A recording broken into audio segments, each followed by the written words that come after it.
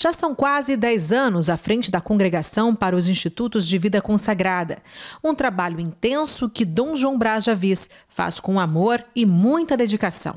Ele conta que um dos maiores dons do seu trabalho na sede mundial da Igreja Católica neste momento é a convivência pessoal com o Papa Francisco.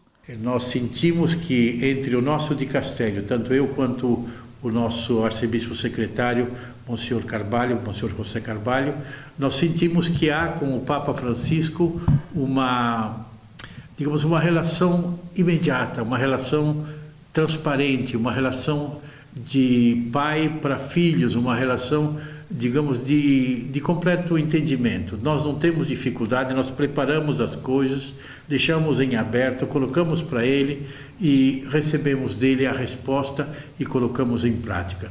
Tem sido uma escola de comunhão e tem sido também uma escola de a gente poder, digamos, receber a sabedoria do Papa Francisco. O Papa Francisco impressiona muitas coisas.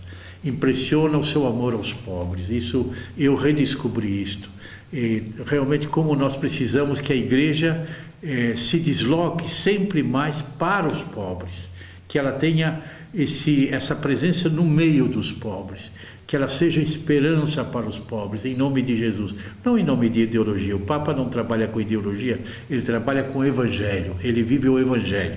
Durante a entrevista, o cardeal Dom João Braz de Avis demonstrou que está muito preocupado com a atual situação do Brasil, em meio à pandemia do novo coronavírus, e deixou uma mensagem de esperança para os brasileiros. O que me preocupa muito é a divisão das nossas autoridades. Às vezes, o problema político toma o lugar da defesa da vida. A defesa da vida ela está acima, seja da, da economia, seja das, das, das opções políticas, e se nós não temos essa maturidade para ver as coisas desse modo, nós acabamos depois prejudicando todo o nosso povo.